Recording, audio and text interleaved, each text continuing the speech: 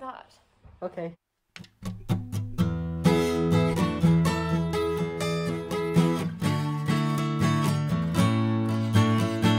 In 2018, got my